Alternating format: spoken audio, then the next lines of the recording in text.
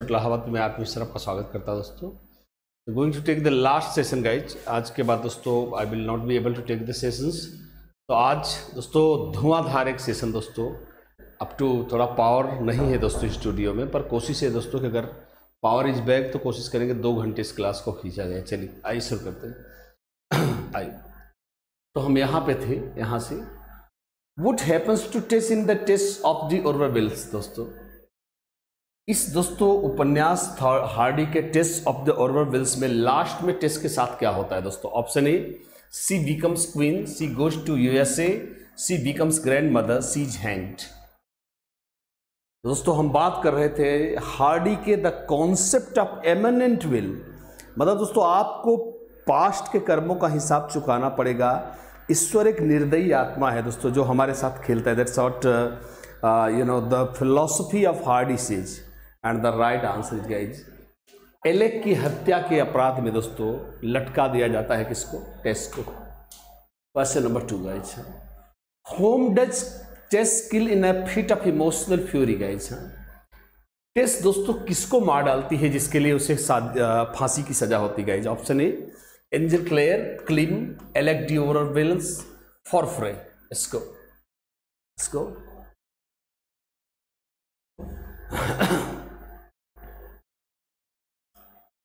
तो दोस्तों, हम सब जानते हैं कि वास्तव में एलेक ही वो बंदा है जो उसका रेप करता है और शादी कर लेता है। तभी दोस्तों, बाद में शादी वो कर लेती है मजबूरी मुझसे।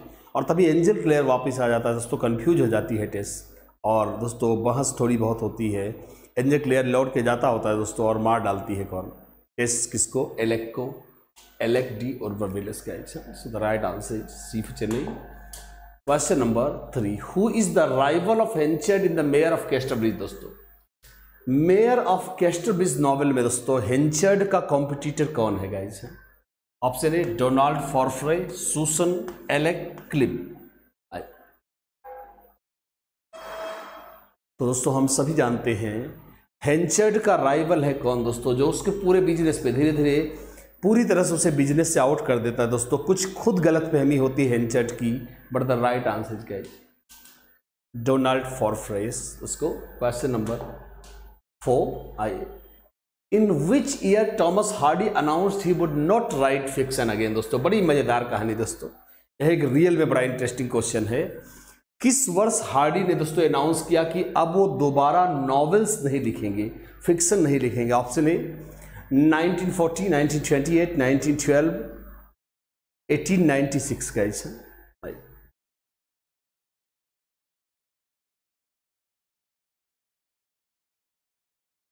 दोस्तों, ये वो टाइम था जब खुद हार्डी बहुत परेशान थे दोस्तों और वो कोई भी उनके नावल को दोस्तों प्रिंट नहीं कर रहा था। तो दैट वाज 1896 दोस्तों, कई पब्लिशर्स ने रिजेक्ट कर दिया था। अट्ठारह सौ छियानवे is the right answer which country is depicted in, which country is depicted the novels of Thomas Hardy दोस्तों?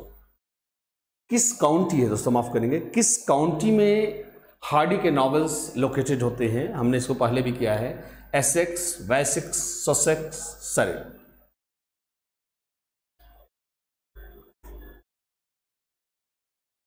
और हम सभी जानते हैं दोस्तों, the right answer is. Wessex उनका वो इमेजिनरी शहर है जहाँ पे उनके नॉवेल्स लोकेट जो होते हैं। क्वेश्चन नंबर सिक्स दोस्तों। Who is Jude Fawley's cousin in Jude the Obscure दोस्तों। याद करिए दोस्तों जूड फॉले की कजिन कौन है? जूड द ऑब्सक्योर में दोस्तों। मैरी चैन, टेस एरोवेला, स्यू ब्राइड हेड पहले भी दोस्तों, ये मैंने आपको पढ़ाया हुआ है। यस आई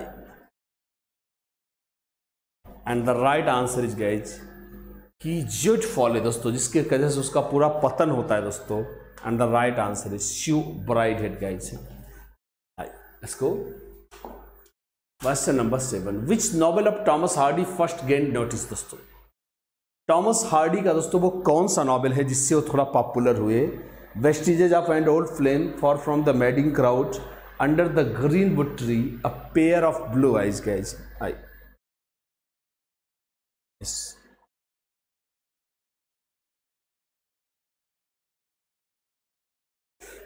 दोस्तों आपको बता दें, मैंने आपको पढ़ाते वक्त ही बताया, दोस्तों, उनके सक्सेसफुल सबसे सक्सेसफुल नॉवेल्स बस एक माना जाता है, दोस्तों, कौन? Far from the madding crowd दोस्तों। आई, इसको तो आप, इसके करेक्टर दोस्तों, याद करिए, मैंने आपको पढ़ाया हुआ है फॉर्मर बोल्डवुड दोस्तों, तिकड़ी होती है, जो बैदसीवा एवर्डीन से प्यार करती दोस्तों। सर्जन ट्रॉय याद करिए, दोस्तों, जो उनको खूब लपेटता है और धोखा देता है, और बैदसीवा एवर्डीन और दोस्तों गैब्रियल ओक जो सेफर्ड होता है सो द राइट आंसर क्या है? बीप बॉम्बे इसको question number I who conferred the order of merit on Thomas Hardy दोस्तों? टॉमस हार्डी को ऑर्डर ऑफ़ मेरिट का अवार्ड किसने दिया था? Option A Victoria Edward seventh George fifth Edward eighth दोस्तों। दोस्तों, ये भी मैंने आपको पढ़ाया हुआ है पॉइंट पूरा पढ़ाया है। एडवर्ड नहीं दोस्तों, जॉर्ज पंचम ने दोस्तों, किसने?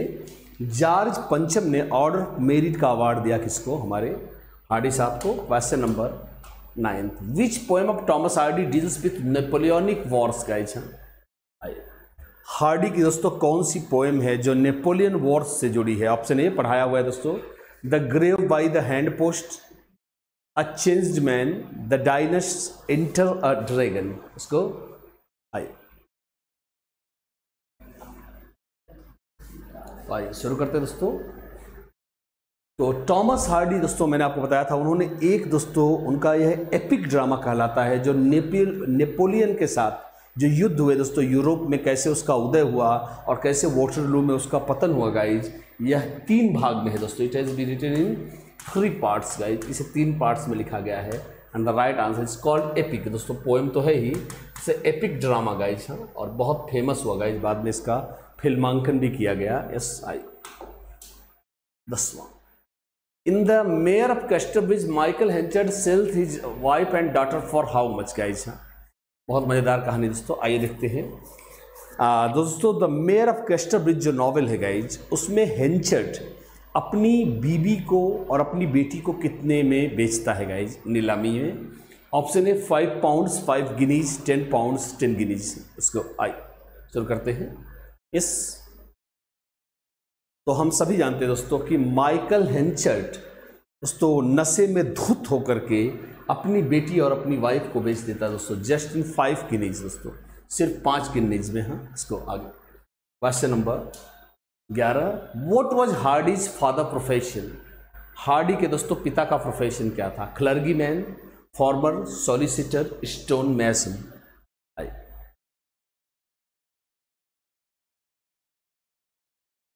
दोस्तों, हम सभी जानते हैं हार्डी के पिता भी दोस्तों, एक बिल्डर एक रजिस्टर्ड मैसन थे दोस्तों।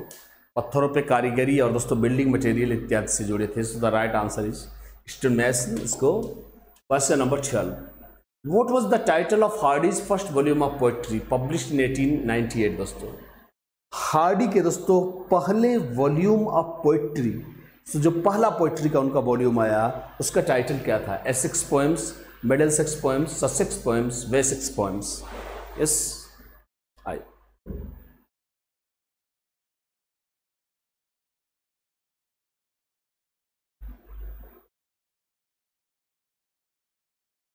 दोस्तों हम सब जानते हैं। बाद में एकीकृत होकर आई इट्स कॉल्ड वेसेक्स पोएम्स इसको। Question number thirteen in Jude the Obscure what is Jude surname दोस्तों? अभी आपने देखा भी है, दोस्तों। जूट द ऑब्सक्योर नावल में, दोस्तों जूट का सरनेम क्या है? क्रॉले फॉले हॉले सोले इसको।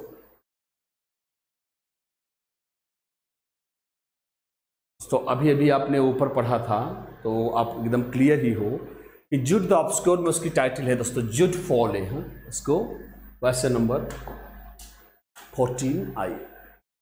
In Tess of the Urbervilles what does Tess give to what name does Tess give to her illegitimate son दोस्तों? क्या?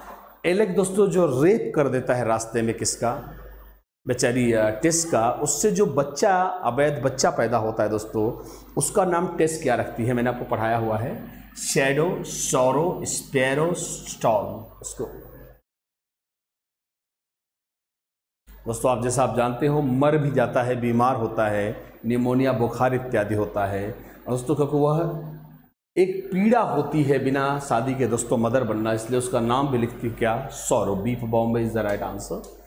Question number fifteen दोस्तों। The return of native begins with दोस्तों, ये भी पढ़ाया है। तो रिटर्न ऑफ़ द नेटिव कहाँ से शुरू होता है दोस्तों इसकी कहानी? हेलोवीन से गाई फॉक्स नाइट्स क्रिसमस से हो न्यू ईयर से हो। आई इसको यस देखते चलिए गाइज़ यस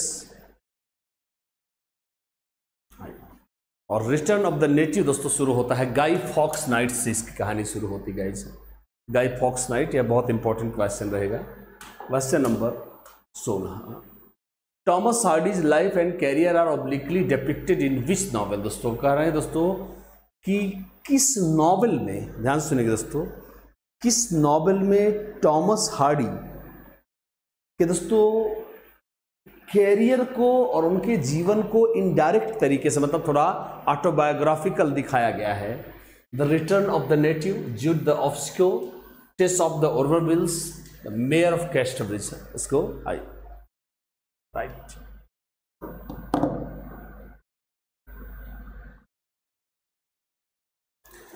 और दोस्तों, वो वही करेक्टर है जुट फॉले का दोस्तों। जुट फॉले का करेक्टर है दोस्तों जुट द ऑफस्क्योर उसी में दोस्तों, उनको मैसन के रूप में भी दिखाया गया है। और वो कजिन का दोस्तों, जो उनसे अट्रैक्शन था, बाद में शादी नहीं हो पाई दोस्तों, वो भी दिखाया गया है जुट द ऑफस्क्योर इसको क्वेश्चन नंबर सेवनटीन दोस्तों। द फॉलोइंग दोस्तों। ये लाइन है दोस्तों कहाँ से है? Yes The following lines are taken from the land's sharp features seem to be the centuries carps outland दोस्तों। ऐसा लग रहा है दोस्तों कि लैंड के दोस्तों जो उभार के फिगर्स हैं, ऐसा लगा दोस्तों कि ये सेंचुरी के डेड बॉडीज का फैलाव है। The hollow man the darkling thrush the second coming because I couldn't stop for death इसको आई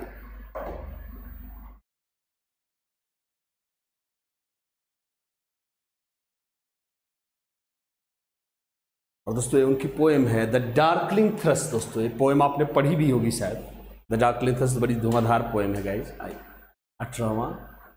About which novel his of his own Hardy remarked a war between flesh and spirit दोस्तों guess करिए, आपने कहानी सबकी पढ़ी हुई है। सब पढ़ाया हुआ है, दोस्तों। आप बता दें हाँ सर, आपने नहीं पढ़ाया। चारों पढ़ाया, दोस्तों।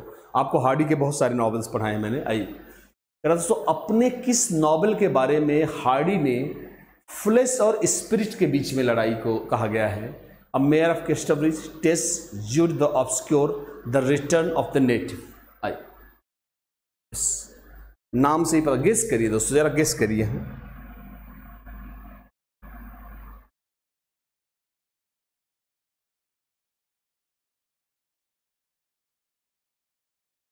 दोस्तों, उत्तर वही है जुड द ऑब्सक्योर दोस्तों।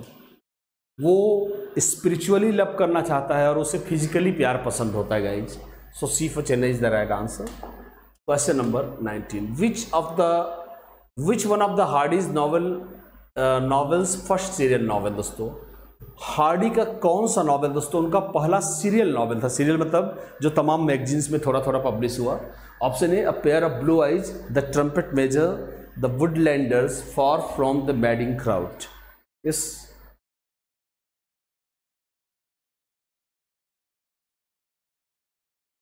और दोस्तों, उनका पहला जो इंपॉर्टेंट उपन्यास था दोस्तों, जो a pair of blue eyes दोस्तों, जो शुरुआत में जिसने कुछ नाम कमाया, और a pair of blue eyes को ही दोस्तों सीरियल्स में पब्लिश किया गया था। A for America is the right answer question number twenty guys दोस्तों।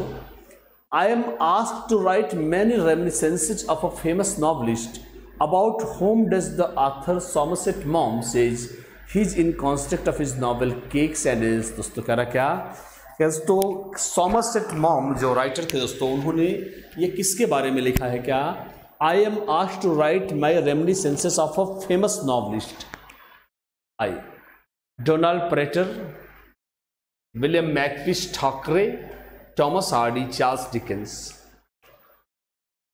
and the right answer is guys आप समझ ही सकते हैं we are taking Hardy so Hardy is the right answer okay question number twenty one In the year 1872, a week or two before Thomas Hardy's 30th second birthday, one of his books was published which confirmed Hardy in his profession as a writer. Which book was it, guys? पढ़ाया हुआ है दोस्तों guess करिए पूरा date सहित अट्ठारह में दोस्तों एक वीक या दो वीक पहले टॉमस हार्डी के बत्तीसवें बर्थडे के उनकी एक बुक दोस्तों पब्लिश हुई थी, जिससे ये पता चल गया था कि वो किस प्रोफेशन में आने वाले हैं, वो बुक कौन सी थी? Desperate remedies under the green wood tree the trumpet major Jude the Obscure guys जिसको आइए शुरू कर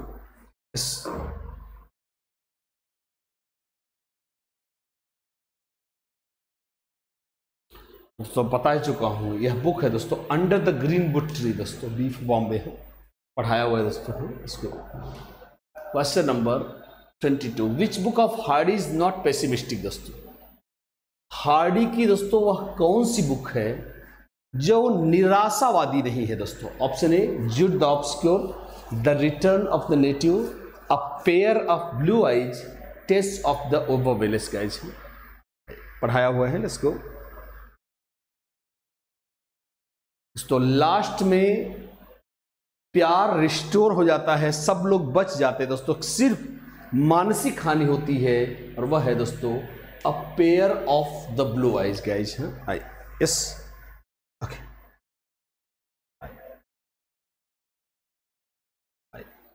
इसको under the green wood tree is a novel by guys under the green wood tree दोस्तों, किसके नॉवेल है? Option A Thomas Hardy Charles Dickens Charles Reade George Eliot इसको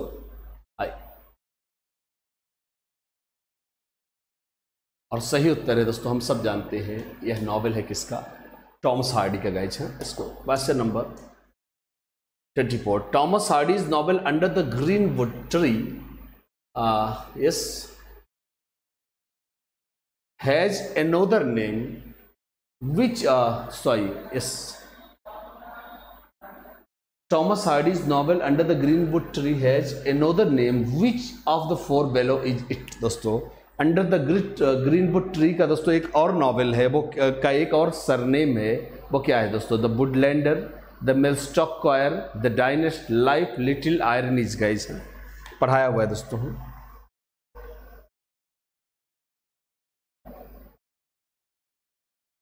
दोस्तों, यह है द मेलस्टॉक क्वायर है इसको question number twenty five the dynast is Thomas Hardy's दोस्तों, क्या मैंने पढ़ाया हुआ है दोस्तों इसको? तीनों पार्ट पढ़ाए हैं आपके तो आप समझ गए होंगे। जो दोस्तों उनकी रचना है डायनिस्ट यह दोस्तों क्या है? यह एक नॉवल है ऑटोबायोग्राफी लिरिक या वर्स ड्रामा। इसको, आई, दोस्तों जैसा मैं पहले ही बता चुका हूँ, यह एक एपिक ड्रामा है गाय जिसके तीन पार्ट्स हैं दोस्तों। इस इस बेस्ड ऑन नेपोलियनिक वॉर्स और बहुत ही सक्सेसफुल था दोस्तों उस समय और आज भी। वर्ष ड्रामा इसको क्वेश्चन नंबर छब्बीस. Bathsheba is the heroine of guys अभी मैंने आपको दो मिनट पहले बताया था, थोड़ी देर पहले. बैदसीबा हार्डी के किस नॉवेल की हीरोइन है? दोस्तों option A return of the native Tess of the Urbervilles far from the madding crowd Jude the Obscure guys इसको. तो हम सब जानते गाइज़ हमारी पहले ही बात हुई है दोस्तों, इसमें प्यार का ट्रैंगल एक हीरोइन तीन हीरोज बोल्डवुड सर्जेंट ट्रॉय और साथ ही साथ दोस्तों कौन होता है आ, क्या बोलते हैं आपका इस Gabriel Oak. So the right answer is far from the madding crowd इसको question number twenty seven the name of the protagonist of mayor of Casterbridge is guys क्या? तो मेयर ऑफ़ कैस्टर ब्रिज के दोस्तों खलनायकों की श्रेणी में किसे लिख सकते हैं? दोस्तों, जो एक्टर का थिक उल्टा हो। न्यूसन, क्लेम योमग्राइट एलेक्ट डी ओरविलस and the Michael Henchard guys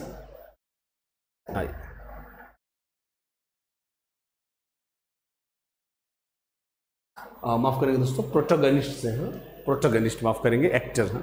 तभी तो मुझे लगा यार कि गलत कैसे हो रहा है।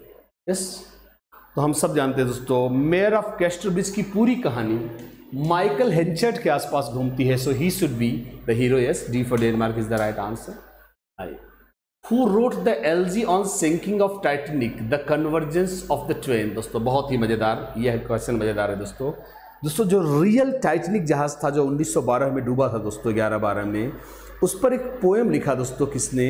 The convergence of the twain option A Hardy George Bernard Shaw W Butler Reed Charles दोस्तों टी एस एलियट किसने लिखा है दोस्तों I S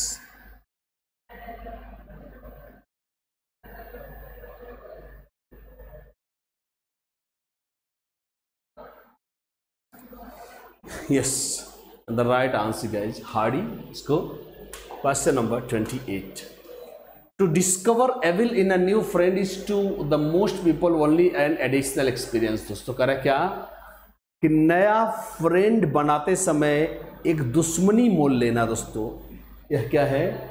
इसे जनरली यह ऐसा ही है कि नया फ्रेंड बनाना दुश्मनी मोल लेना है रिस्क मोल लेना है, पर कुछ लोग इसे नया अनुभव कहते हैं दोस्तों। यह कर, यह लाइनें उनके किस उपन्यास से हैं दोस्तों? Desperate remedies a pair of eyes Jude the obscure two on a tower इसको।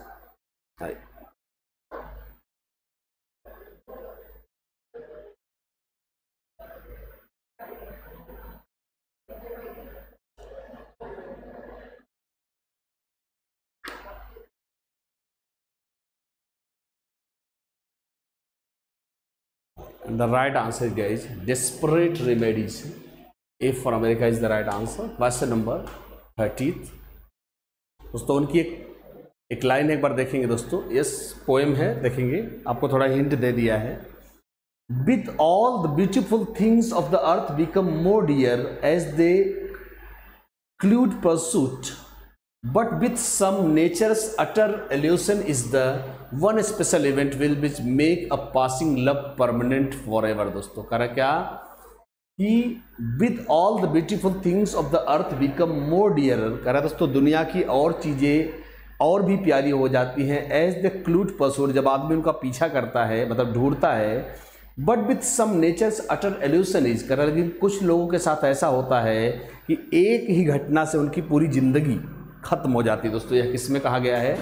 I desperate remedies a pair of blue eyes Jude the obscure दोस्तों और बात एक ऑप्शन है दोस्तों। टू ऑन अ टार इसको इस, यह नॉवेल ही है दोस्तों। मुझे लगा पोएम है। इस, इसको नॉवेल ही है।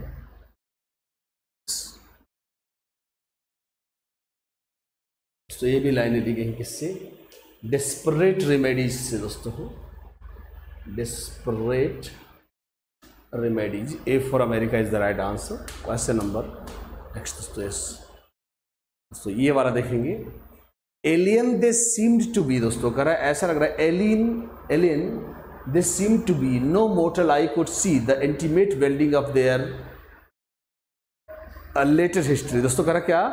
ऐसा लग रहा था, दोस्तों, जैसे कि वो दूसरे दूसरे ग्रह पे, के प्राणी हों और दोस्तों, कोई भी ज़िंदा व्यक्ति उनके बाद के इतिहास को नहीं जानता कि उसके बाद क्या हुआ, दोस्तों। Option A, the photograph. यह हार्डी के किस पोइम से है, दोस्तों? इस बार पोइम्स का कलेक्शन है। The photograph, the convergence of the twain the going, the ghost of the past. इस उसी से लिया गया है। तो इंपॉर्टेंट चीज़ें पढ़े रहिएगा इस हाँ। टाइटनिक के, दोस्तों, जिसमें डूबने को दिखाया गया है। The convergence of the twain इसको आई next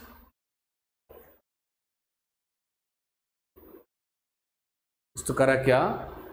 War annals will cloud into night before they their story डाएगा कह रहा दोस्तों, इससे पहले कि उनकी कहानी, उनकी इस घटना का, दोस्तों, मौत हो, उसके पहले war's annals will cloud into night दोस्तों करा क्या? कि युद्धों का जो रिकॉर्ड है, वो भी उनके सामने कम पड़ेगा। यह बहुत बड़ी घटना है, दोस्तों। मतलब इतिहास में बहुत बड़ी घटना है, युद्धों से भी बड़ी।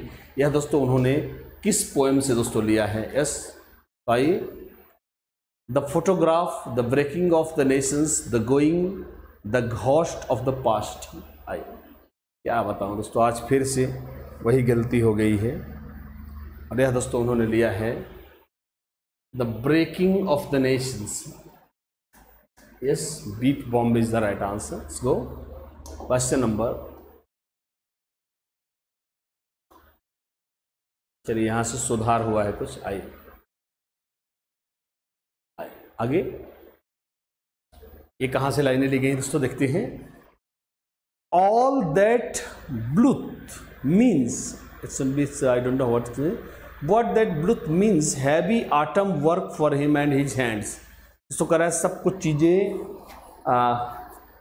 इसको दोस्तों हटाएँगे। दोस्तों, ये समझ में ही नहीं आ रहा है क्वेश्चन अरे, ज़बरदस्ती है दोस्तों आगे चलते हैं।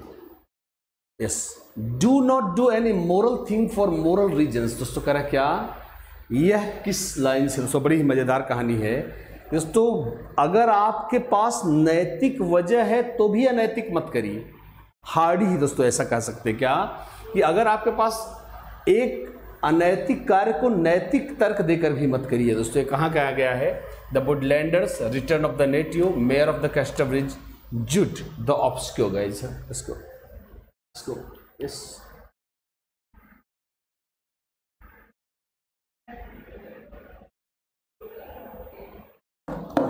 अरे कहानी दोस्तों, जुट फॉले की, जुट द ऑप्सक्यो उसको। वॉट देखिए गाइज़ ये आ गया, देखिए। मैंने बोला था ना his philosophy of immanent will देखिए। What of the immanent will and what of the immanent will and it design कर तो एमिनेंट विल क्या है? कैसे प्लान करती है? इट वर्क्स देखिए गाइज़ क्या ज़बरदस्ती दिया है? It works unconsciously as heretofore eternal artistries in the circumstances the ebb lines are taken दोस्तों कह रहा क्या? कि आपको ध्यान नहीं है, पर एमिनेंट विल अपना काम कर रही है, दोस्तों, और जब तक चीज़ों को ख़त्म ना कर ले, दोस्तों। The dynasts part one pair of blue eyes Jude the obscure two on a tower guys इसको अब दोस्तों एमिनेंट विल की फिलॉसफी है तो किसी नॉवल में तो घुसाया नहीं होगा दोस्तों। यह कोरस बोलते हैं दोस्तों किसके? डायनेस्ट पार्ट्स वन के। यहाँ से हमको पूरा आई I मीन mean, पूरा का पूरा पता चलता है कि हार्डी का फिलॉसफी नॉवेल्स को या प्लेज को लेकर क्या था दोस्तों। आइए देखते हैं। Yes my argument is that war makes rattling good history but peace is poor reading दोस्तों। कह रहा क्या? मेरा कथन है कि युद्ध, दोस्तों। ज़बरदस्त लाइनें एक बार देखेंगे। एक करेक्टर कहता है, दोस्तों my argument is that war makes rattling good history but peace is poor reading दोस्तों कह रहा क्या? कम से कम युद्ध से इतिहास तो बनता है, शांति तो कायर करते हैं, दोस्तों हाँ। ये लाइनें कहाँ से ली गई हैं? The dynasts part two a pair of blue eyes Jude the obscure two on a tower हाँ इसको इस और ये दोस्तों का ली गई है युद्धों के बारे में दोस्तों, नेपोलियनिक वॉर से the dynasts part two, A for America is the right answer, question number thirty seven. ज़बरदस्त दोस्तों। देखिए, ये बहुत ही मज़ेदार कथन है, एक बार देखिए। To find beauty in ugliness is the province of the poet भद्दी और बुरी चीज़ों में भी सुंदरता ढूंढ लेना ही कवि का मुख्य काम है। दोस्तों, यह किसने कहा है? Hardy Shaw Yeats Eliot. इसको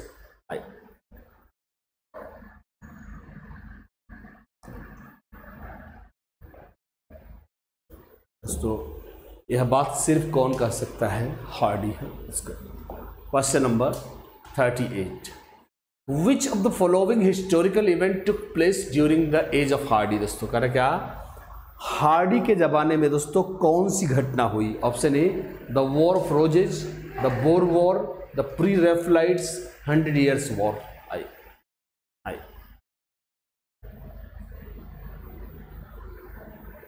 दोस्तों, मैं आपको शेक्सपियर पढ़ा चुका हूँ।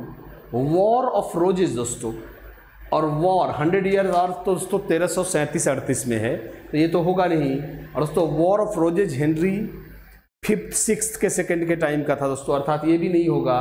प्री रेफलाइट मूवमेंट से हार्डी जुड़े नहीं थे गाइज़ द बोर वार दोस्तों, जो द बोर युद्ध हुआ, वो हार्डी के टाइम की घटना थी, हैं। Question number thirty nine which romantic poet Hardy admired as our most marvellous lyricist दोस्तों? किस रोमांटिक पोइट को दोस्तों हार्डी बहुत सम्मान करते थे और उसे दोस्तों क्या कहते थे? मोस्ट मार्वेलस लिरिसिस्ट कहते थे। Option A P B Shelley Wordsworth John Keats Coleridge यह भी दोस्तों ज़बरदस्त क्वेश्चन है, देखेंगे। यस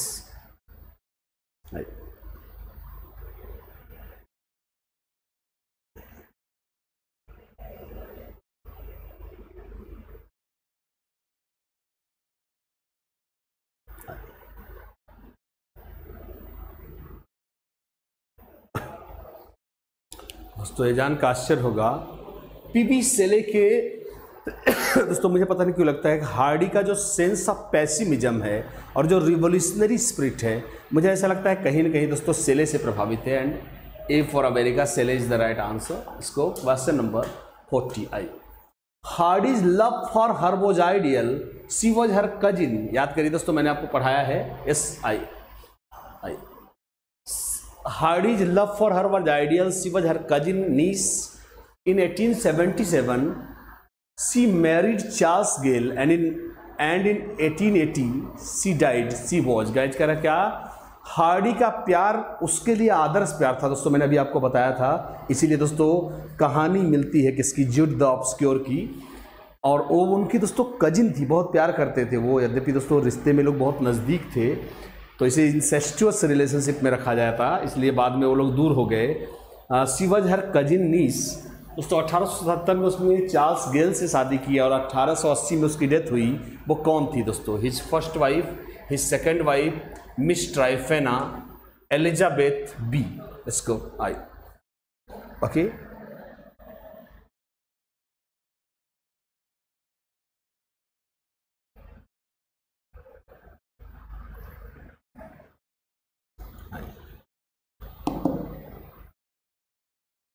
तो हमने इसको देखा है, पढ़ा हुआ है दोस्तों, Miss Tryphena is the right answer इसको। Question number 41 one the poem recounts their love affair Tryphena tells a lover that she is going to be the mother of a child an in turn a child and in turn the love become sad दोस्तों, क्या?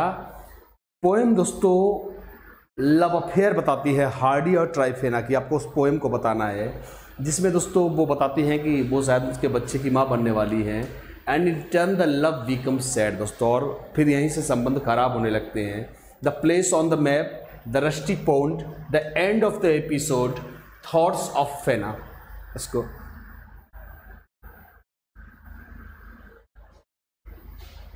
and guys the right answer is the place on the map guys यद्यपि ये भी उनकी एक poem है thoughts of फेना पर दोस्तों ये उत्तर नहीं है यहाँ पे। Yes next question number forty two I Hardy appears a pessimist in his novels and in his poetry तो अजीब बात है क्या? कि देखिए इस हार्डी की पोइट्री में और उनके नॉवेल्स में बहुत अंतर है गाइज़ तो हार्डी अपने नॉवेल्स में पेसिमिस्ट दिखते हैं, पर अपने नॉवेल्स में दोस्तों क्या दिखते हैं? Extreme pessimist optimist meliorist philanthropist उसको I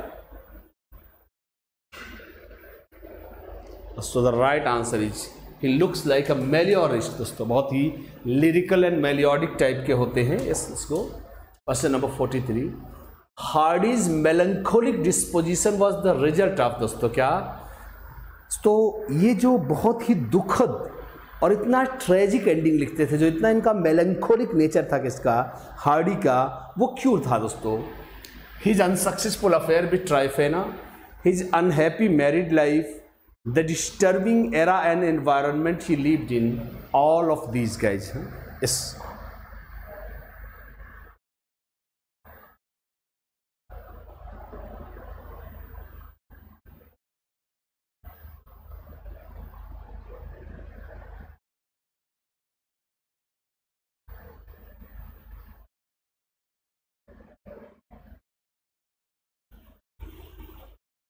दोस्तों, बहुत ही ज़बरदस्त गाइज़ एक बार देखेंगे यस और ये सारी बातें, दोस्तों, सारी बातें। ट्राइफेना के साथ उनका, दोस्तों, संबंध बहुत ही ख़राब रहा। उनकी मैरिड लाइफ भी, दोस्तों, मैंने आपको पढ़ाया, कोई बहुत ही ज़्यादा नहीं रही। डिस्टर्बिंग एरा दोस्तों तो सभी के सब डी फाइव दो बातें तो एकदम सही हैं गाइज़ इसलिए हमारे पास ऑल ऑफ़ दीज हो जाएगा। फोर्टी फोर दोस्तों गेस करिए हम हाँ दोस्तों गेस करिए। हार्डी दोस्तों अपने एक लेक्चर के दौरान उन्होंने कहा था क्या? सुनेंगे। There was no benevolent design in God's creation ईश्वर ने हमें किसी हित के लिए नहीं बनाया है। न तो ईश्वर हमारा कोई फ्रेंड है। आई I मीन mean, ईश्वर हमें पहले से ही पीटने के चक्कर में है दोस्तों। अब ध्यान सुनेंगे। Man is helpless creature in the hands of environment fate and chance मनुष्य दोस्तों मनुष्य के साथ खेलते हैं उसका वातावरण उसका भाग्य किस्मत ये चीज़ें दोस्तों, इत्तफाक के साथ उसका जीवन जीता है। मतलब कोई फिक्स डिज़ाइन नहीं है कि आप ऐसा करोगे, आप ये सफल पाओगे। यह दोस्तों शेक्सपियर के पॉइंट का उल्टा है। किस पॉइंट का उल्टा है दोस्तों? देखिएगा, ध्यान से क्वेश्चन सुनेंगे।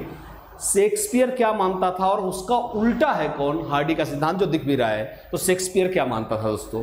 The character is destiny the destiny is character nothing is possible the world is a maze दुनिया एक भूल भुलैया है दोस्तों। इसके लिए आपको शेक्सपियर का व्यू पॉइंट बताना है, जिसका उल्टा था किसका? हार्डी का व्यू पॉइंट गाइस हाँ।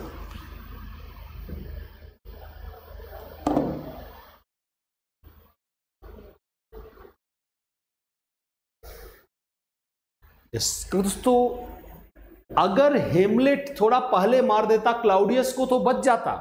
मतलब दोस्तों हेमलेट शेक्सपियर हमें दिखाता है करेक्टर इज़ डेस्टिनी वो दिखाता है कि अगर करेक्टर चाहे तो अपनी किस्मत बदल सकता है। मतलब दोस्तों, अगर जरा सोचिए, अगर अपनी महत्वाकांक्षा पे गेस करिए दोस्तों, किस्मत के साथ अंत नहीं होता। न तो क्लाउड न तो दोस्तों हेमलेट का, न ही मैकबेथ का, न ही अथेलो का।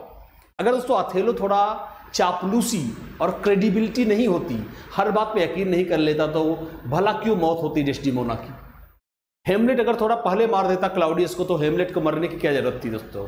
करेक्टर खुद गलती करता है और वही उसके अंत का कारण बनता है। So the right answer is guys that character is destiny और दोस्तों मतलब अब समझिए, क्योंकि यहाँ पे शेक्सपियर का व्यू पॉइंट पूछा है, पर हार्डी का व्यू पॉइंट आता दोस्तों थी हार्डी का व्यू पॉइंट आता तो आपका उत्तर क्या होता? B for Bombay would have been the right answer इसको question number forty five who advised याद करिए दोस्तों yes who advise Hardy not to publish his first novel the poor man and the lady guys ये भी पढ़ाया मैंने आपको। किसने हार्डी को दोस्तों ये सलाह दिया था कि जो उनका पहला नॉवल था the poor man and the lady उन्होंने कहा, यह बहुत इमेच्योर है, यह बकवास है, इसको आप न पब्लिश करो, तभी अच्छा है। Option A Meredith Chatterton Tennyson Middleton guys इसको आई दोस्तों मैंने आपको बताया था मेरिडिथ के टच में बहुत समय थे। मैंने आपको दोस्तों बायोग्राफी में पढ़ाया है। मेरिडिथ के टच में काफ़ी समय तक थे कौन हार्डी, और उन्होंने ये कहा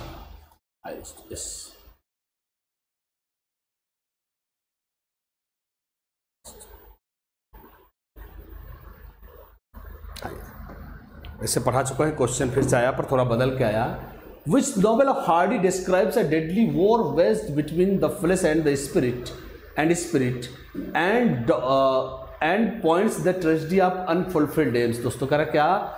हार्डी का कौन सा नॉवल है दोस्तों, जो शारीरिक सुख और स्पिरिचुअल लव के बीच में एक वॉर को दिखाता है? और दोस्तों, यह अतृप्त इच्छाओं का दोस्तों नॉवल है। Option A Jude the Obscure a Pair of Blue Eyes the going down to a tar let's go yes और अभी दोस्तों मैंने आपको बताया था जुड द ऑब्सक्योर इसको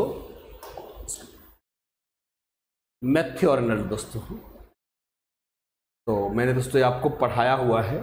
मैथ्यू अर्नल बहुत पहले ही कवर हो गया था। आइए हम शुरू करते हैं दोस्तों। Matthew Arnold started his career as दोस्तों। मैथ्यू अर्नल्ड ने अपना कैरियर काहे के रूप में शुरू किया था दोस्तों? Option A a teacher of Rugby school and editor of a critical journal inspector of schools and assistant to a publisher guess करिए। इस, इसको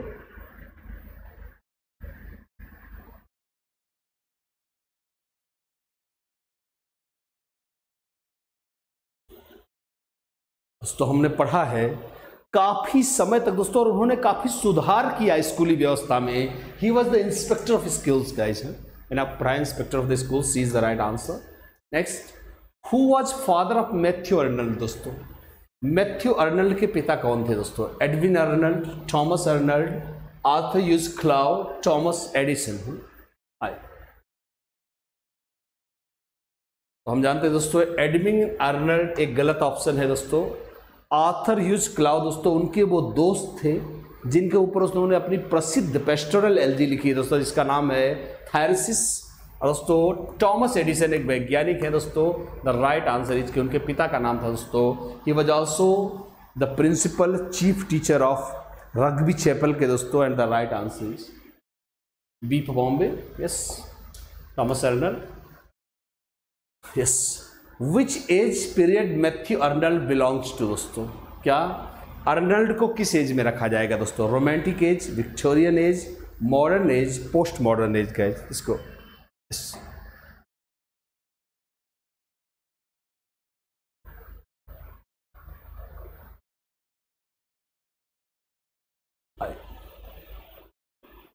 हम सब जानते हैं so he came in Victorian yes इसको।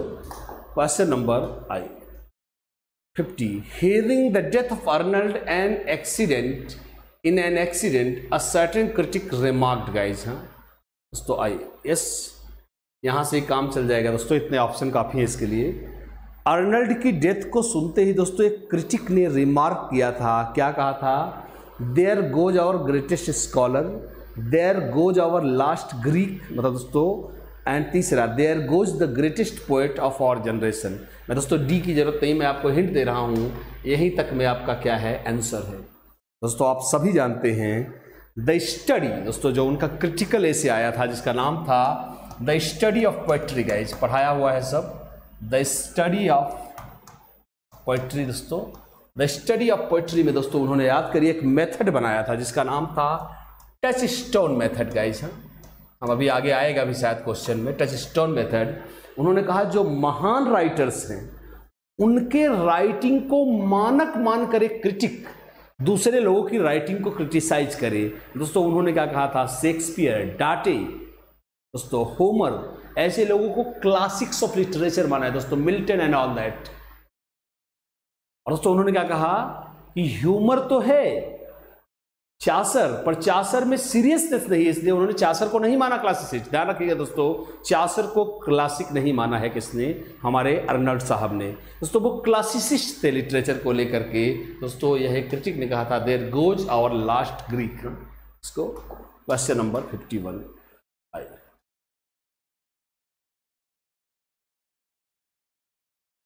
yes ज़बरदस्त दोस्तों, एक कथन मूड बन रहा है दोस्तों ये देखते हैं।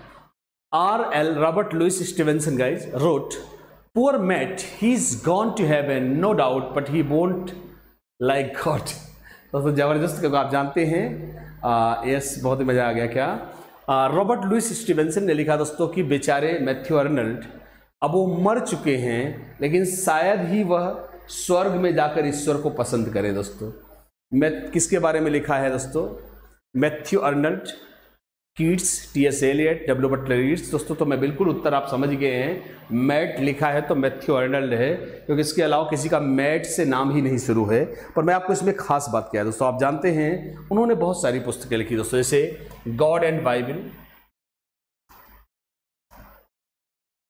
दोस्तों, दूसरा लिटरेचर एंड डोगमा दोस्तों, मैंने दोस्तों ये सब आपको पढ़ाया हुआ है गाइज़ दोस्तों, उन्होंने बेसिकली ये दिखाने की, अर्नल्ड ने कहा दोस्तों कि मैं दावे से कह सकता हूँ कि आज जिन्हें हम अपना महान ग्रंथ मानते हैं, जैसे बाइबल, उन्होंने कहा दोस्तों, ये शुरुआत से पोइट्री की किताबें हैं, इनमें कोई भी सच्चाई नहीं है। और क्राइस्ट जैसी कोई भी बात नहीं गाइज़ तो ईश्वर को लेकर बड़े दोस्तों निराशावादी रहे या नास्तिक देखिए गाइज़ उन्होंने ये भी नहीं कह सकते को नास्तिक थे। दोस्तों, वो बाइबल और गॉड में यकीन नहीं करते थे। खासकर मतलब यूँ कहूँ मैं थोड़ा मैंने गलत शब्द बोल दिया। बाइबल वाले गॉड गॉड में दोस्तों, वो यकीन नहीं करते थे। बाइबल वाले गॉड में so the right answer is Matthew Arnold A for America is the right answer इसको question number fifty two who called eighteen century देखिए गाइज़ ये दोस्तों यहीं पे ही आ गया। तो यहीं पे आपका उत्तर भी है, तुमको आगे नहीं जाना है। Who called eighteen century the age of prose and reason दोस्तों? अठारहवीं मैंने पहले भी पढ़ाया, दोस्तों। अठारहवीं शताब्दी को age of prose and reason किसने कहा था, दोस्तों? ऑप्शन है Matthew Arnold T S Eliot और एमरसन गाइस हैं। इसको भाई।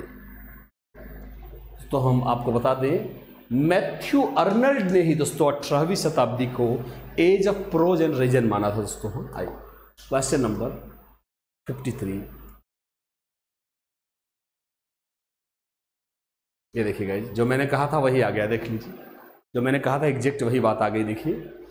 Arnold select some passages from Homer Dante Shakespeare and Milton to prove his guys याद करिए। ये देखिए दोस्तों अर्नल्ड ने कुछ ऐसे कुछ पैसेजेस लिए हैं दोस्तों, किससे? होम से होमर से डाटे से, शेक्सपियर से और मिल्टन से क्या प्रूव करने के लिए अपना क्या? Touchstone method cultural method literary method cultural इसको। मैंने आपको बताया दोस्तों he wanted to prove his touchstone method so A for America is the right answer question number fifty four दोस्तों। Who said Chaucer lacks high seriousness ये देखिए दोस्तों। किसने कहा दोस्तों कि चासर में को नहीं माना जा सकता? मैंने अभी देखिए दोस्तों बोला, वही लाइनें आ गई। किसने दोस्तों बोला कि चासर महान कवि तो हैं और उन्हें दोस्तों क्लासिक्स में नहीं रखा जा सकता, क्योंकि उनके अंदर सीरियसनेस की कमी है। देखिए, मैंने जो बोला था वही आ गया। किसने कहा है? कॉलरेज ने, टेनिसन ने, मिल्टन ने। दोस्तों, आपको देखना ही नहीं है। वो ऑप्शन शायद दोस्तों नीचे चला गया है तो हम यहीं पे लेंगे दोस्तों। यस और यस टचस्टोन मेथड गाइज़ तो हम सब जानते हैं, अर्नॉल्ड ने कहा गाइज़ गो आगे the touchstone method was given by guys touchstone method किसने दिया था? अर्नल्ड ने, डांटे ने, अरिस्टोटल ने, पेट्रार्च ने, दोस्तों।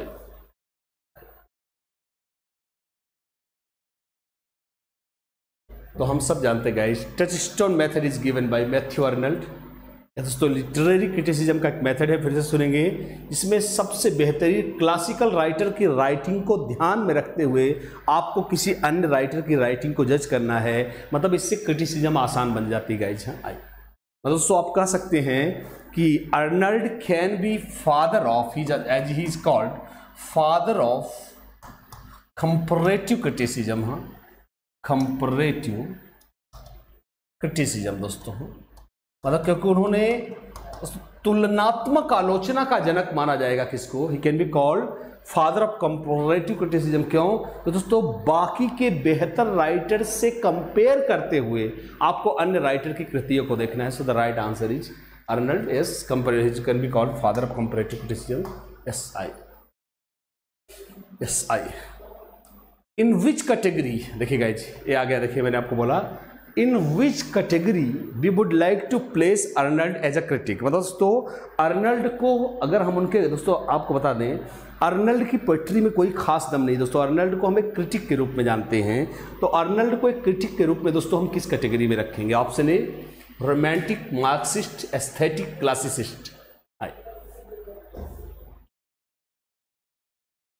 yes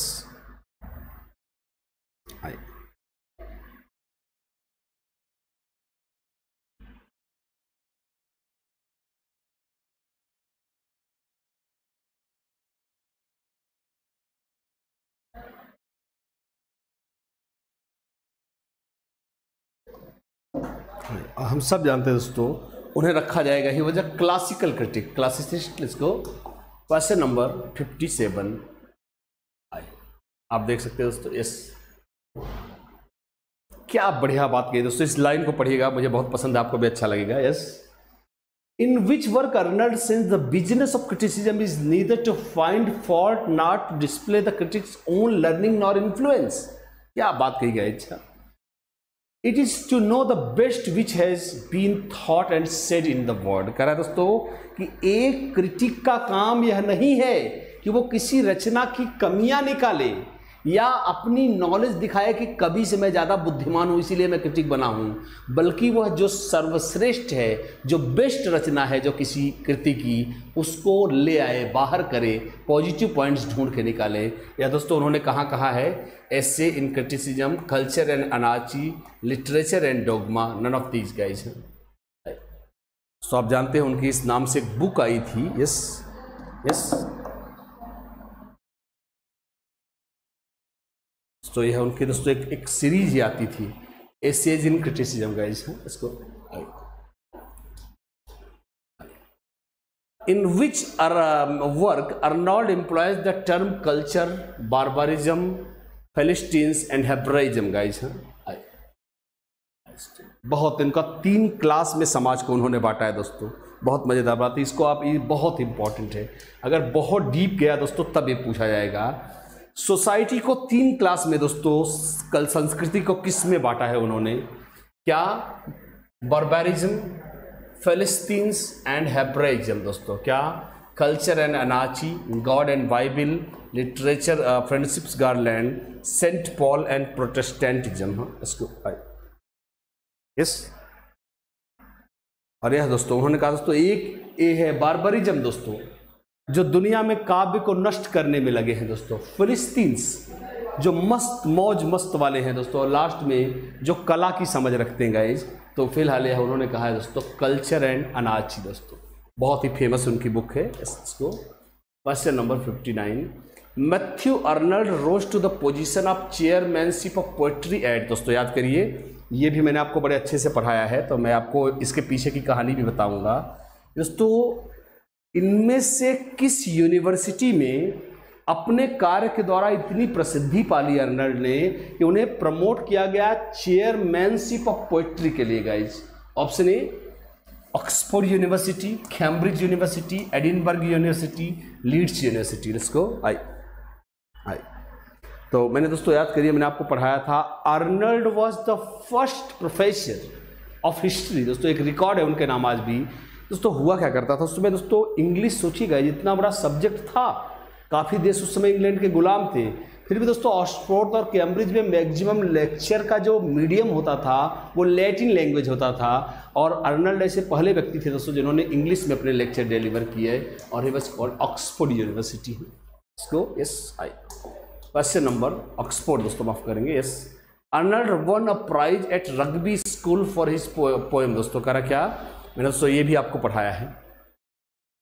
अर्नल्ड दोस्तों जब पढ़ रहे थे तो उन्होंने अपने रग्बी स्कूल में किस पोएम के लिए एक पुरस्कार पाया? Option A, poor friend, S,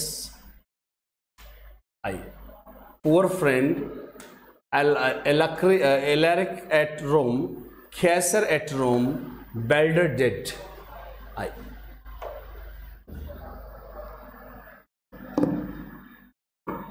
Yes. तो मैंने आपको पढ़ाया it's called Alaric at Rome हाँ इसको। क्वेश्चन नंबर सिक्सटी वन, दोस्तों। अकॉर्डिंग टू यस याद करिए दोस्तों, मैंने आपको कवर किया है। According to Arnold who is next to Shakespeare and Milton दोस्तों? अर्नल्ड के अनुसार दोस्तों शेक्सपियर और मिल्टन्स के बाद कौन आएगा कैटेगरी में? Option A Coleridge Dryden Wordsworth Pope इसको, इस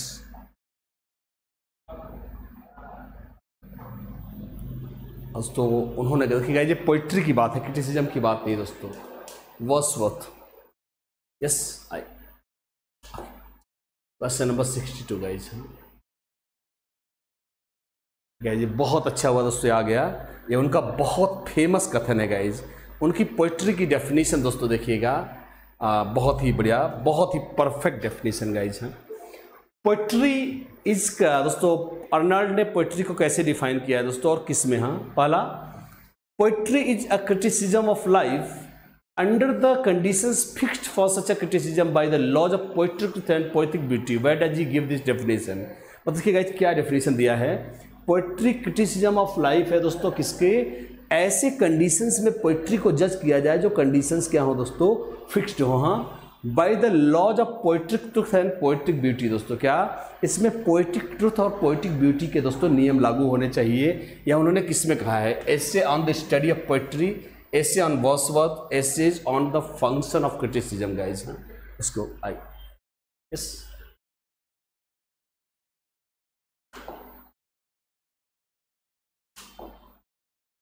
क्लास है किसी? क्लास है किसी? तो जैसा मैंने आपको पढ़ाया हुआ है, या दोस्तों उनका 1880 में आया निबंध। दोस्तों उन्होंने कहा क्रिटिसिज्म में पोइटिक रूल्स मतलब दोस्तों वास्तविक दुनिया के आधार पर नहीं आर्टिस्टिक साइड को भी विचार किया जाना चाहिए पोइट्री का क्रिटिसिज्म करने में। And the right answer is guys essay अठारह अस्सी दोस्तों essay on the study of poetry guys next next find the name of poem in which Empedocles a philosopher दोस्तों आइए अब Sicily commit suicide by jumping into the crater of volcano दोस्तों। बहुत ही ज़बरदस्त उनकी वो पोएम है, दोस्तों। अर्नल्ड की उस पोएम का नाम बताइए, दोस्तों, जिसमें एम्पीडोक्लिस एक फिलोसोफर होता है सिसिली का, जो दोस्तों, जो एटना का, दोस्तों ज्वालामुखी है उसके क्रेटर में कूद कर आत्महत्या कर लेता है। Option A Empedocles on Etna Balder dead रक्सेट या रक्सकेट in fact church of Brou इसको आइए शुरू करते हैं। ओके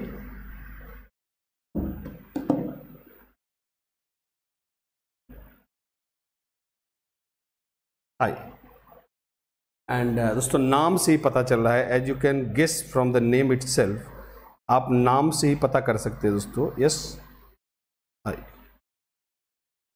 यस दोस्तों क्या? Empedocles on Etna A for America is the right answer question number sixty four I Arnold culture and energy deals with the subject of guys क्या? जो Arnold की दोस्तों रचना है कल्चर एंड एनार्जी संस्कृति और अराजकता यह दोस्तों बेसिकली किस मुद्दे पे आधारित है? ऑप्शन ए रिलीजन धर्म पर। थियोलॉजी दोस्तों धर्म शास्त्र पर या एजुकेशन इसको तीन पे ही काम चला लेंगे हम लोग। आइए शुरू करते हैं। यस इसको।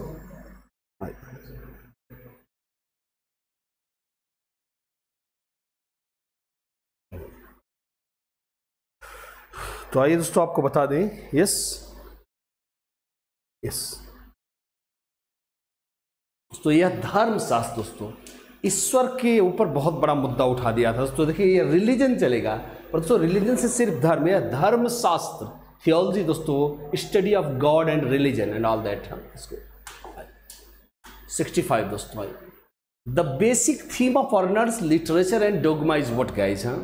जो दोस्तों अर्नल्ड की प्रमुख पुस्तक है दोस्तों इसका नाम है लिटरेचर एंड डोगमा दोस्तों मतलब साहित्य और धार्मिक जो विचार हैं यह किससे जुड़ी है? Contemporary literary criticism theology and religion and social changes in the Victorian age art and literature as applied in life guys इसको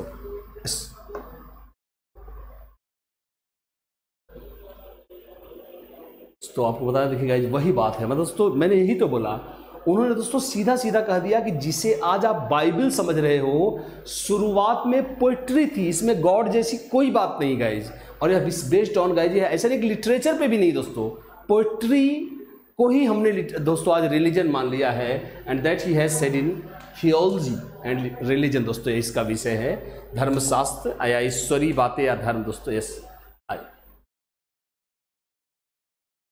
गजब दोस्तों बहुत सारे अर्नल्ड के दोस्तों इतने कोटेशन हम पहले भी पढ़ चुके काफ़ी। आइए। Arnold calls a poet in a beautiful but in दोस्तों याद करिए अर्नल्ड ने ये बात किसके लिए लिखी है दोस्तों? Arnold calls a poet a beautiful but ineffectual angel beating in the world is luminous wings in vain दोस्तों, किसको अर्नल्ड ने कहा था कि वो दोस्तों बहुत ही बढ़िया कवि थे, पर उन्होंने अपनी सारी ऊर्जा, सारी चमक फालतू बकवास के पॉइंट में खो दिया। मैंने आपको पहले भी इसे पढ़ाया है। Shelley Keats Tennyson Byron let's go I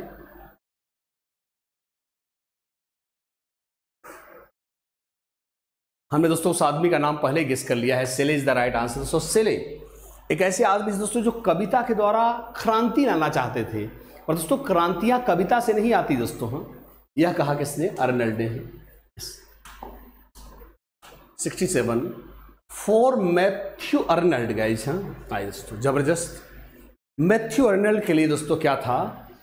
Poetry of revolt against moral ideas दोस्तों। वो कहते थे कि नैतिक विचारों से गाय की बड़ी अजीब बात है।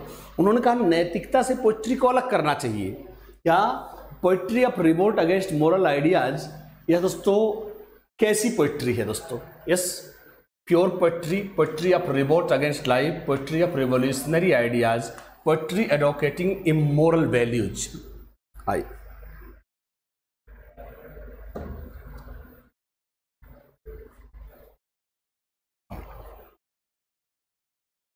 थोड़ा देख नहीं पाए दोस्तों, हमें लगा इमोरल है।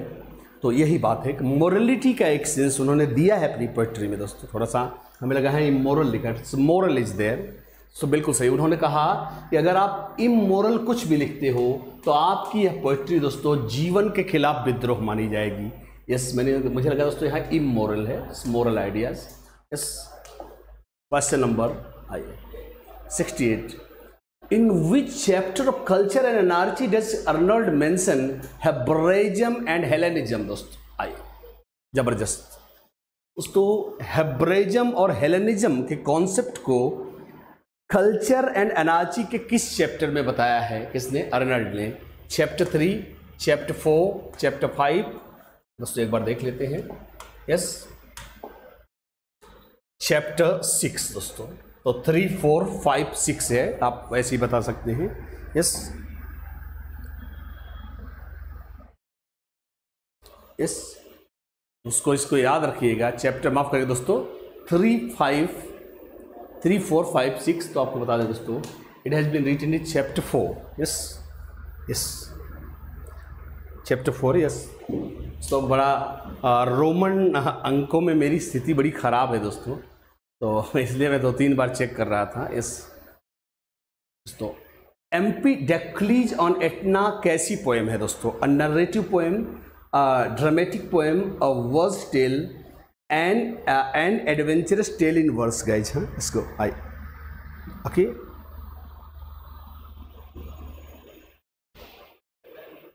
सो आप बता दें, यह ड्रामा के है तो दोस्तों पोएम ही।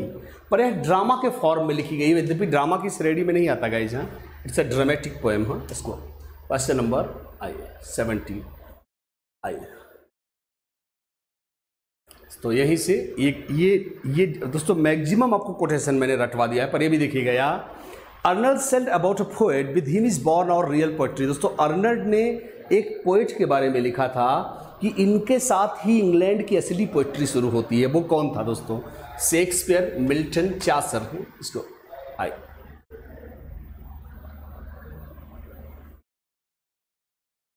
और सही उत्तर है guys all of us know the right answer is उन्हें दोस्तों चासर को ही इंग्लिश पोइट्री का फादर माना है, दोस्तों। इसको yes question number seventy one who calls Arnold को भी लपेटा गया है, दोस्तों, ये देखते हैं।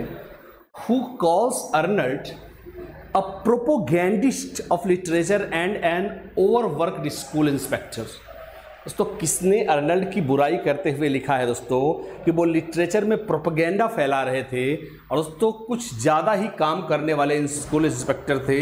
इसलिए वास्तविकता को नज़रअंदाज करते हुए अधिकार जमाने की कोशिश की है। किसने कहा है दोस्तों? Option A W H Auden T S Eliot F R Leavis I A Richard हाँ इसको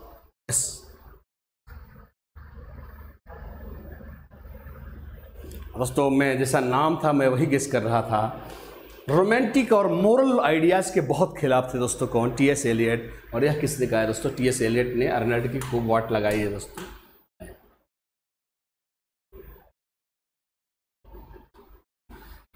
ज़बरदस्त हाँ। अर्नल्ड ने दोस्तों एक पोइट के बारे में लिखा था क्या?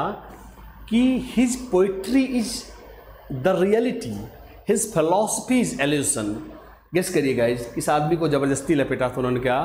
अर्नल्ड ने दोस्तों किस पोइट के बारे में लिखा था कि उनकी पोइट्री तो वास्तविकता है, और उनकी जो पोइट्री में फिलॉसफी है, वह एक भ्रम है जो कभी भी संभव नहीं है। इसके बारे में सेले, वसवत, चासर हाँ? इसको।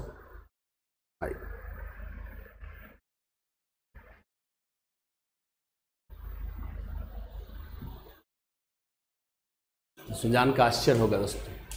यस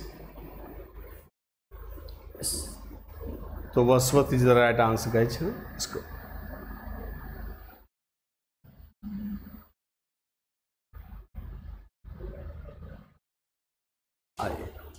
देखिए जैसा नहीं है। काफ़ी एलियट को भी आई मीन दोस्तों अर्नल्ड को भी बहुत लपेटा है लोगों ने। अब देखिए एक क्रिटिक ने क्या कहा है? और दोस्तों, मैं खुद मानता हूँ, यही अर्नॉल्ड की मतलब दोस्तों, मैं खुद नहीं समझ पाया कि जो पोइट्री की अपनी डेफिनेशन मानते थे, उसको खुद फॉलो नहीं कर पाए कौन?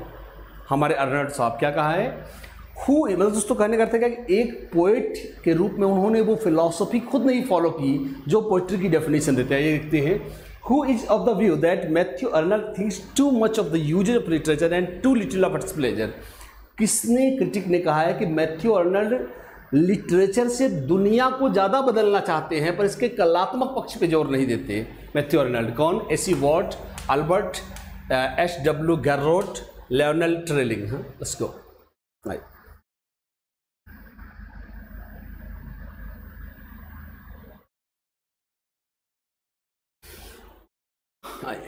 the right answer is guys yes W H Garrod इसको question number seventy three guys what kind मैंने आपको दोस्तों पढ़ाया हुआ है, इसलिए सही उत्तर दीजिएगा। What kind of work is Arnold's Merope दोस्तों? अर्नल्ड की रचना मेरोपी मेरो मेरोपी जो भी है, कौन सा वर्क है, दोस्तों? कैसा वर्क है? मैंने आपको पढ़ाया हुआ है। Dramatic poem memorial verse a verse tale a poem in free verse I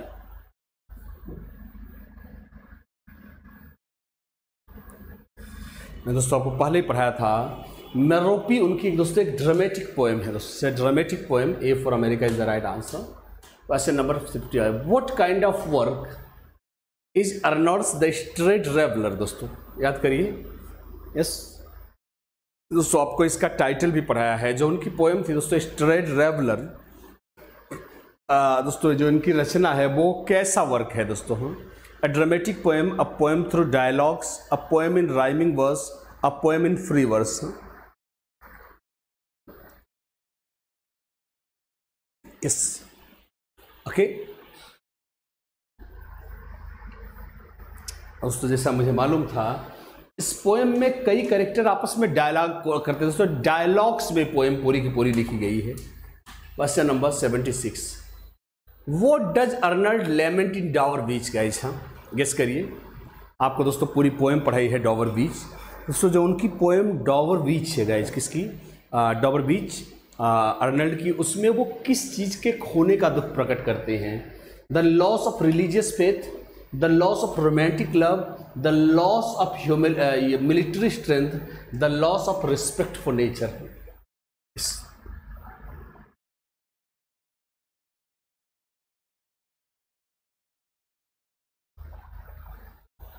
so जैसे उन्होंने फेथ और रिलीजन पे दोस्तों लिखा है poem so A for America is the right answer इसको question number question number seventy seven which of the following poets wrote the poem entitled Dover Beach दोस्तों, आइए देखते हैं।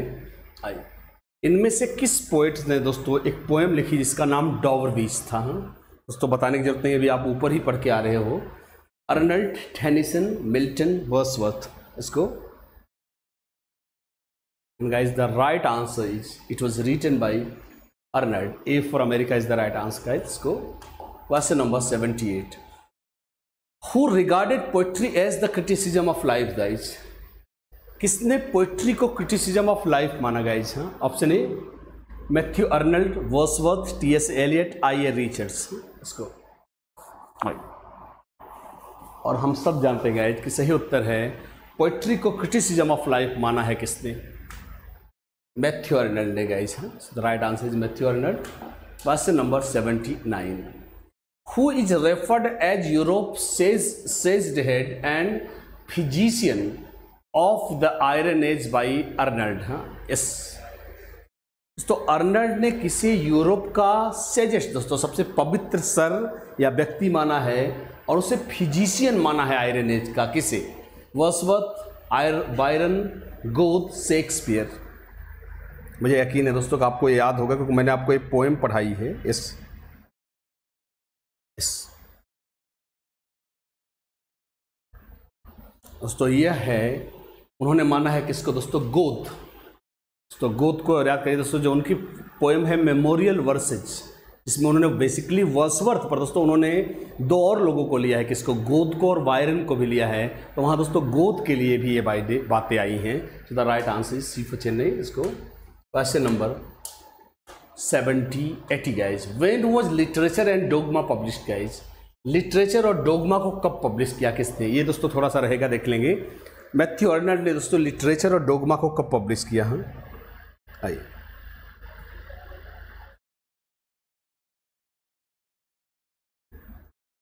So the right answer is अट्ठारह सौ तिहत्तर guys इसको देख लेंगे, थोड़ा लिख लीजिएगा कहीं पे। इस question number eighty one Matthew Arnold Sohrab and Rustam is taken from the story ये गाइज़ कई एग्ज़ाम में क्वेश्चन आया है आइए। तो आप जानते हैं उनकी एक पोएम थी सोहरब एंड रुस्तम यह दोस्तों उनके किस आई I मीन mean, इसका सोर्स कौन सी पुस्तक है? Arabian Nights Akbarnama Firdausi Shahnama Rubaiyat of Omar Khayyam इसको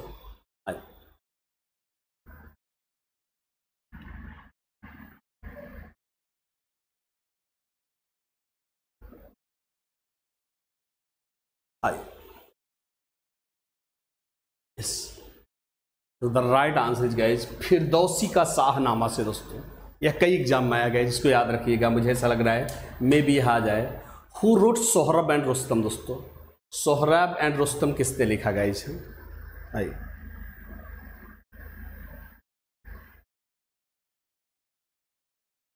तो आप जानते हैं, यह लिखा है किसने? Yes Matthew Arnold is the right answer इसको question number eighty three.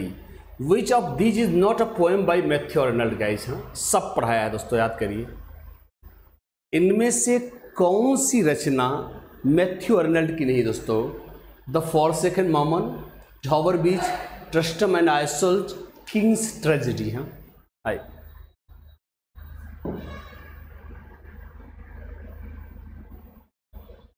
yes and the right answer is guess कि यह है मैंने दोस्तों, इस सब की कहानियाँ हमने पढ़ी हुई है। So the right answer is King's Tragedy इसको question number 84. In Matthew Arnold's culture and anarchy the term philistine is use for आइए दोस्तों। जो उनकी पुस्तक है दोस्तों कल्चर एंड अनाची उसमें फिलिस्टाइन टर्म किसके लिए यूज़ किया गया है दोस्तों? The English working class the English middle class the English aristocratic class दोस्तों इतने में ही उत्तर है। बिना देखे ही बता दिया। उत्तर इतने में ही अब आपको बताना है गाइस पूरा दोस्तों, मैंने आपको इसके लिए कवर किया है, पूरा का पूरा पढ़ाया हुआ है दोस्तों। इस, सो उन्होंने कहा है, ये वो क्लास है जो एमर जो रहा है इंग्लैंड में, पैसा कमा रहा है और अंत में यही आर्ट को शायद आई मीन शरण देने वाला है। या दोस्तों इंग्लिश मिडिल क्लास को कहा गया है। Question number 85 Matthew Arnold's rugby rugby chapel commemorates दोस्तों जो उनकी पोएम है रग्बी चैपल दोस्तों ये किसको याद करती है option A the death of his father, the death of his friend, the death of a girl, the death of his relative. I.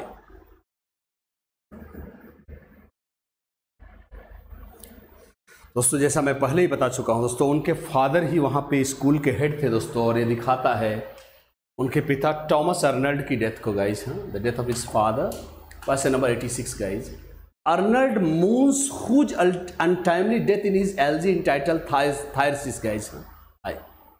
तो यहाँ भी दोस्तों तीन ऑप्शन है, तीनों में उत्तर हैं, आप जानते हैं. अर्नल्ड ने दोस्तों, अपनी पेस्टोरल एलजी थायरसिस में किसकी मौत के प्रति विलाप किया है या दुख प्रकट किया है? Arthur Hugh Clough Arthur Hallam W H Auden इसको. शुरू करते हैं। और सही उत्तर है दोस्तों, Arthur Hugh Clough the right answer is उनके दोस्त थे दोस्तों, हम सब जानते हैं। वैसे number 87 who is Thyrsis in poem of the same name guys जो दोस्तों पोएम जो उनकी पेस्टोरल एलजी है दोस्तों, उसमें थायरसिस का करेक्टर कौन है? P B Shelley Arthur Hugh Clough Arthur Hallam Edward King हाँ आई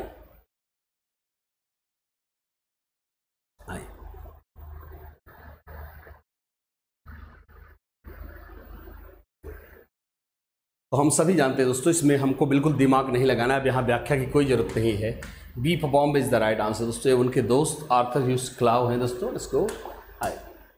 Eighty eight Matthew Arnold was not a दोस्तों, इनमें से मैथ्यू अर्नल्ड क्या नहीं थे? A poet a critic essayist novelist देख के ही पता चल रहा है दोस्तों, क्या सही उत्तर है। तो आप समझ सकते हैं, उनके पोएट के रूप में अवतार आपने पढ़ाई है, अर्थात आपका उत्तर नहीं है। क्रिटिक ही वो थे वो भी सही है। क्रिटिसिज्म में प्रोज लिखते थे एसेज ये भी सही है। He was not a novelist guys Matthew Arnold कोई उपन्यासकार नहीं थे गाइज़ इसको question number 89 Rugby Chapel by Matthew Arnold is written in the memory of आई दोस्तों क्वेश्चन दोस्तों ऐसे थोड़ा थोड़ा घुमा देता है। अर्नल्ड का दोस्तों रग्बी सैपल किसकी मेमोरी में लिखा गया है? Tennyson Shakespeare Thomas Arnold Keats इसको आई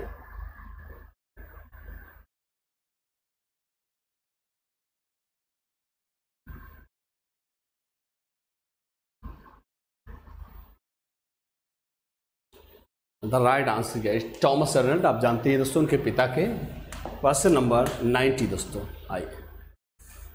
उत्तर दोस्तों, जितने ऑप्शन दिख रहे हैं उसमें यह मैं देखते ही जान जाता हूँ दोस्तों। उतने में ही उत्तर है तो परेशान नहीं होंगे। ऑप्शन डी की यहाँ कोई ज़रूरत नहीं है फ़िलहाल, शुरू करते हैं। From which poem the following lines are taken दोस्तों? अर्नल्ड की किस पोएम से लाइनें ली गई हैं दोस्तों? क्या? वेंडरिंग दोस्तों, बड़ा फ़ेमस लाइन है उनकी। Wandering between two worlds one dead the other powerless to be born with nowhere yet to rest my head करा दोस्तों कि दो संसारों के बीच भटकता हुआ दोस्तों, मैं एक खत्म हो चुका है, दूसरे में पैदा होने की हिम्मत नहीं है। और दोस्तों क्या, मैं अपने सर को आराम के लिए कहाँ पे रखूँ दोस्तों? Dover Beach Scholar Gipsy Grande Chartreuse. Yes.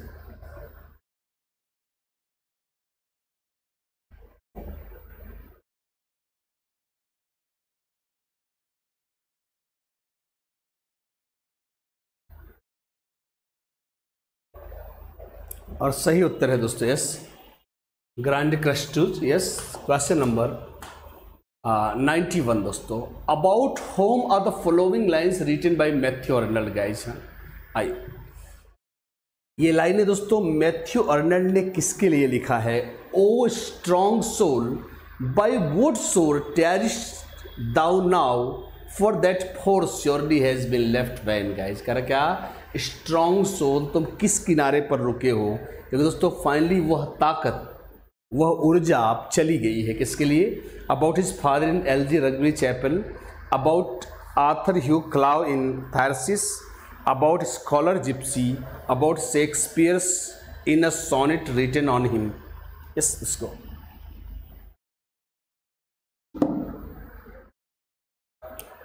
और यह दोस्तों लिखा है उन्होंने अपने पिता के लिए दोस्तों about his father in elegy Rugby Chapel which poem won not Oxford prize guys हैं दोबारा आ रहा है दोस्तों।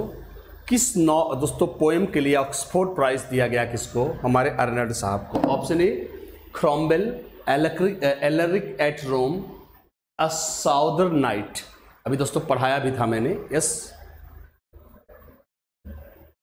so guys the right answer is repeat हुआ है Alaric at Rome question number forty ninety three yes ये बहुत फ़ेमस है गाइज़ वेरी इंपॉर्टेंट है वेरी इंपॉर्टेंट दोस्तों. यह कोटेशन और क्वेश्चन भी आई एक बार देखते हैं जल्दी से। From which poem are the following lines quoted दोस्तों? किस पोएम से लाइनें कोट की गई हैं? And we are here on a darkling plain swept with confuse alarms of struggle and flight where ignorant armies clash by night दोस्तों, करा क्या? और हम लोग इस दुनिया में, दोस्तों, ऐसे इकट्ठे हुए हैं, जैसे कंफ्यूज अलार्म से, दोस्तों, सैनिक इकट्ठे हो जाते हैं और अंधेरे में मार काट करना शुरू कर देते हैं। बिना ये जाने कि वो अपनी सेना को मार रहे हैं या दुश्मन की सेना को मार रहे हैं। और ये लाइनें दोस्तों कहाँ की हैं? Balder Dead Alaric at Rome Dover Beach the new sirens आई और सही उत्तर है दोस्तों, जैसा आपको पढ़ाया गया है, मैंने आपको पढ़ाया है, ये अंतिम दो लाइनें हैं किसकी? लास्ट दो लाइनें हैं दोस्तों किसकी? डाव बीच की हैं। C chain is the right answer इसको question number ninety four guys आइए। गेस करिए क्वेश्चन देखते ही दोस्तों, मैं तो ये भी नहीं कहूँगा कि आप उत्तर का इंतज़ार करो। कमांड तो दोस्तों ऐसा ही होना चाहिए। पर आइए एक बार मैं आपको मौका देता हूँ, देखते हैं क्या। उनकी दोस्तों, किस पोएम से लाइनें ली गई हैं? अदर्स बहुत बार दोस्तों इसको लिया है मैंने, क्योंकि कोटेशन में भी कई बार लिया है। Others abide our question thou of free we ask and ask thou smiles and are still out topping knowledge करा क्या? कि और सब पे तो हम उंगली उठा सकते हैं। और सब पे तो प्रश्न भी कर सकते हैं, पर आप पे कोई उंगली उठा ही नहीं सकता। हम क्वेश्चन पूछते हैं, आप एकदम सर्वज्ञानी की तरह मुस्कुराए जाते हो दोस्तों। यह किसमें कहा गया है? यहाँ पे दाऊ शब्द किसके लिए आया है? मिल्टन स्पेंसर, दोस्तों इसके सारे ऑप्शन दिखा देता हूँ। वैसे उत्तर देखने की ज़रूरत नहीं दोस्तों। उत्तर देख के ही आपको बताना चाहिए था और आप में से काफ़ी लोग उत्तर आ गए दोस्तों। यह उन्होंने कहा है किसके लिए दोस्तों? यह उन्होंने कहा है शेक्सपियर के लिए गए। सी फुचन इज़ द राइट आंसर इसको आई आई यस अब देखिए गाइज़ वहीं से थोड़ा दूसरा क्वेश्चन का तरीका। The following lines appear in and thou who did the stars and sunbeams know self schooled self scanned self honoured self secure कह रहा भैया, आपकी स्कूलिंग खुद से हुई। आपने खुद को ही क्रिटिसाइज करके सुधारा। आपने खुद को कोई और नहीं तो आपने खुद को सम, आत्मसम्मान को आगे बढ़ के काम किया। या दोस्तों किसके लिए है? Shakespeare Rugby Chapel Dover Beach छो ग्रेड दोस्तों। यह लाइनें कहाँ आती हैं? इसको आई इस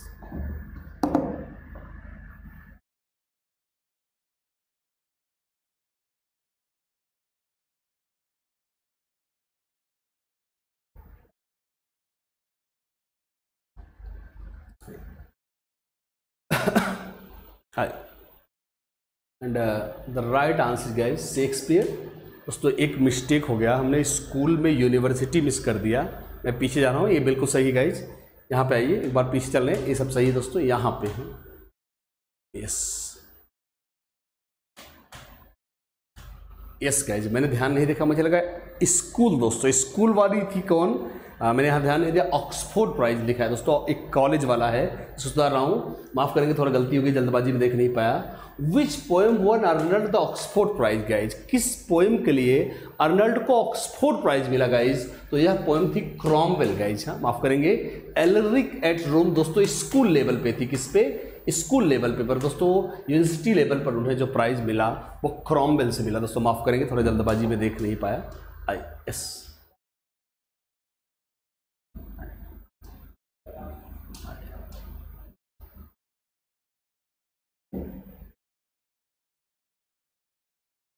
बहुत ज़बरदस्त, दोस्तों। मैं चाहूँगा सिर्फ़ इसको ऐसे देख ही लें आप। क्या?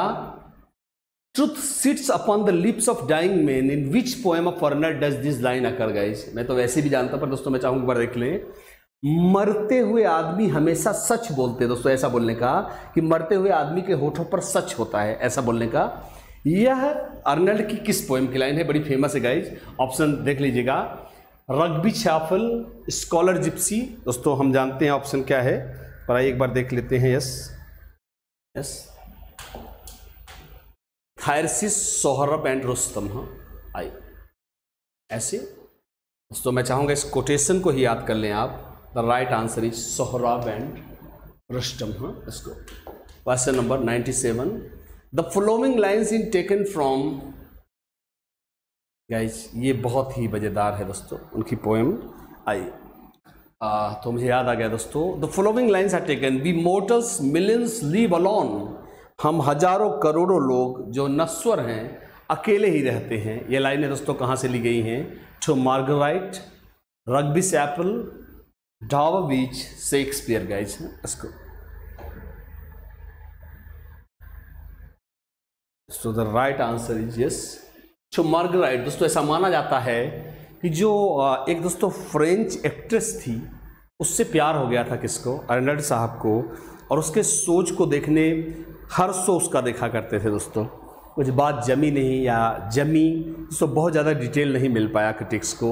तो ऐसा माना जाता है दोस्तों उनकी ज़्यादातर पोएम्स उसका नाम शायद दोस्तों मार्गरेट था या बदला हुआ नाम मार्गरेट था, भगवान जाने। और दोस्तों उनकी मार्गरेट सीरीज़ की दोस्तों पोएम्स काफ़ी पॉपुलर है दोस्तों रोमांटिक पोइट्री के रूप में। आई आई who congratulated Matthew Arnold as being the only living Englishman who had become a classic in his own lifetime, दोस्तों?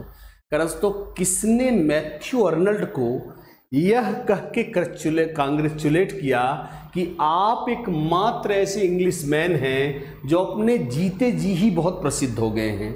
वह कौन था दोस्तों? Thomas Carlyle, John Ruskin. दोस्तों, आपको बता दें, आगे चलेंगे।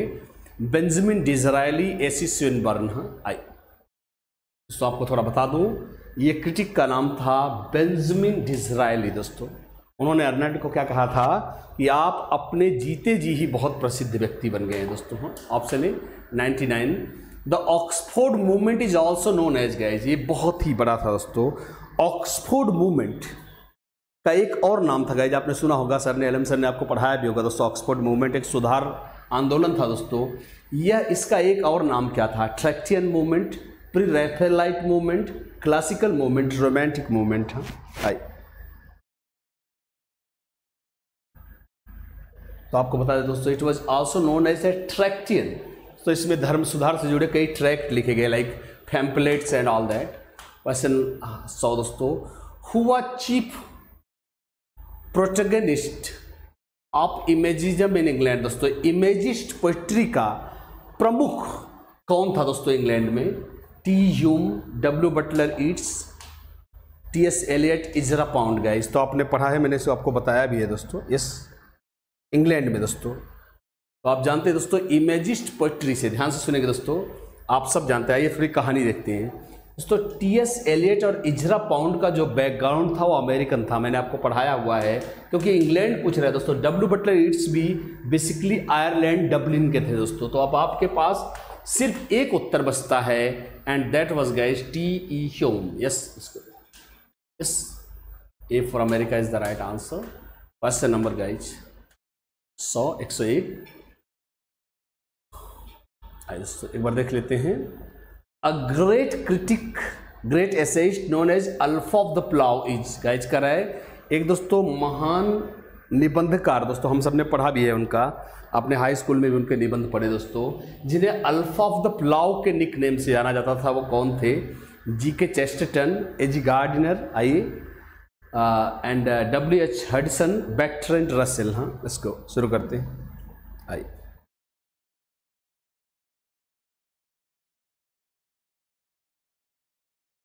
So the right answer is guys Bertrand Russell माफ़ करेंगे दोस्तों एजी गार्डनर आइए दोस्तों थोड़ा बता दें कैसा लगा आज का सेशन और दोस्तों ध्यान से सुनेंगे।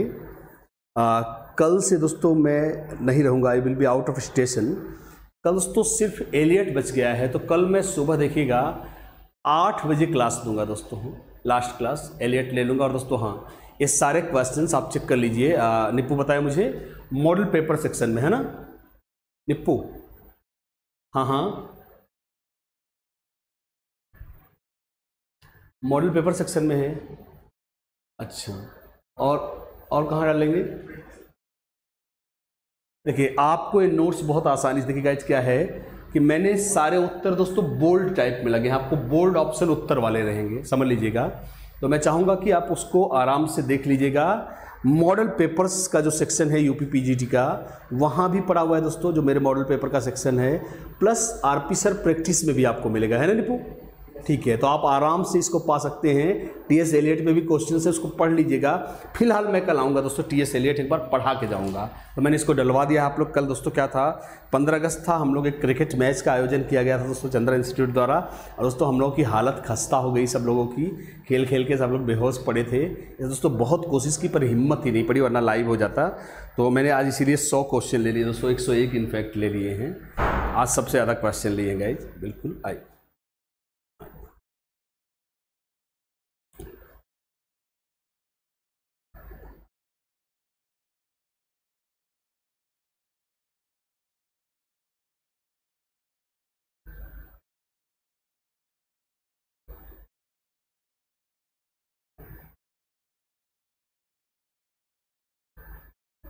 तो इस मैं आपके थोड़ा दोस्तों कमेंट ले ले रहा हूँ।